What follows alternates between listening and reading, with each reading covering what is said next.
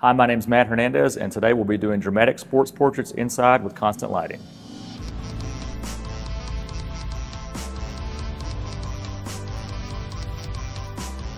Okay, so we're at McCracken County High School in Paducah, Kentucky. We're in the football locker room. We've got our football player, Franklin, and the first thing that I've noticed in here is that it's really dark. There's black lockers. It's gonna be hard to get texture out of those. We're gonna be using two different Solix LED constant lights. We've got one as our main light with a strip bank on it with a grid. And then behind me here, we've got another one with a red gel with barn doors. It's gonna be our rim light. We're also gonna have a haze machine going that's gonna fill the air with some texture. That way we can get a little bit more drama because if we just shoot this with nothing else going on, it's, like I said, it's gonna be hard to get texture out of the lockers because black absorbs heat.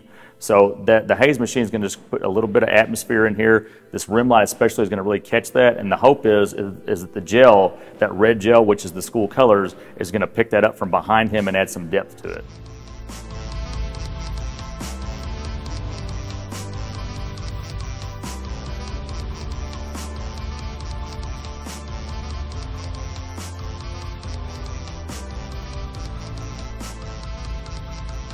Okay, so in this second setup, we're still in the locker room. We're still using the Solix LED lights, constant lights. We have a third light this time, so I'm gonna explain what we're doing with that and the other two lights because it's not exactly the same as the first one. The, the, main light over here to my right, again, has a gridded uh, strip bank on it. That's gonna act as our main light. And so that's gonna light his face. We're gonna have him sitting in this locker, angled straight this way. He's gonna be, he's gonna have his arms on his legs, as you'll see um, like he's preparing for a game, looking down. So that's going to be the main light lighting the front of his body and his face. And then we have a gelled light in the back. Again, not going to really act as a rim light this time, but more going to pick up atmosphere from that haze machine, the, the, haze that we're putting in the air. And we've got that red gel still on it for his school colors. And then the third light is going to be behind him in this locker. We've got it hung on one of the hooks in the corner here. It's got barn doors to focus the light. That's going to be our rim light for this one, just to add a little bit more depth and cut him out from the background.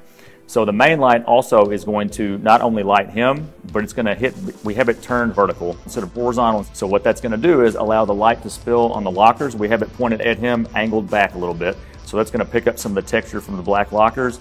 And then the red gelled light in the background not only is going to pick up the haze, but it's also going to put a little bit of texture on the lockers too, where it, it's going to reflect off the sides right here. So as you guys can see, we got two totally different looks in the same confined space. And that's why the Solix were perfect for this because they're so portable and they're battery powered. There are only a couple outlets in here, but even if there had been none, I'm in locker rooms all the time that don't have any power, then you, that would be no problem at all. Another thing I like about these lights is that they're very adaptable and I can put any kind of modifier I want. I can put strip banks, barn doors, or whatever I want.